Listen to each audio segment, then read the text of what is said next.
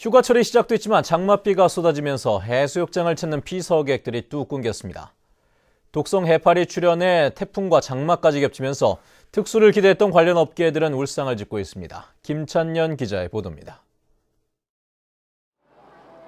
매혹적인 비취빛 바다로 하루 18,000명의 피서객이 찾던 함덕 서우봉 해변.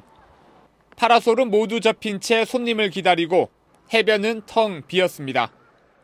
들뜬 마음으로 제주 바다를 찾은 관광객들은 바닷물에 발을 담그는 것으로 아쉬움을 달랩니다. 함덕해수욕장이 바다 색깔이 너무너무 예쁜 해변이잖아요. 근데 비가 오는 바람에 그 아름다운 색깔이 빛을 발하지 못해서 좀 딸에게 보여주지 못하는 아쉬움도 좀 있고요. 세월호 여파로 관광객이 감소한 데다 장마와 태풍이 계속되면서 해수욕장 이용객이 크게 줄었습니다.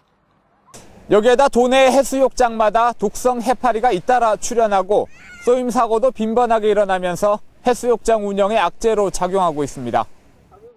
올해는 두 개의 수욕장이 지난해보다 일주일 먼저 문을 열었지만 전체 해수욕장 이용객은 오히려 지난해보다 3천 명 넘게 줄었습니다.